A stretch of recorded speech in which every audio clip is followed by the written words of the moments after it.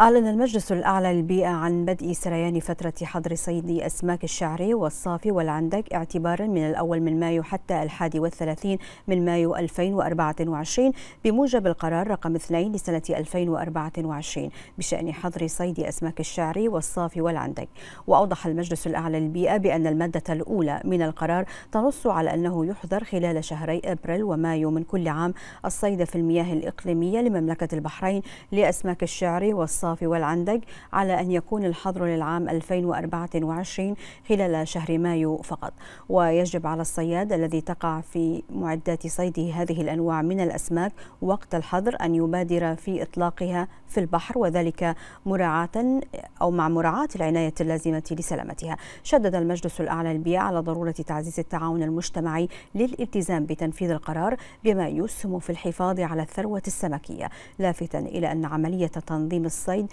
تعد مسؤولية وطنية ينعكس أثرها الإيجابي على كافة أفراد المجتمع.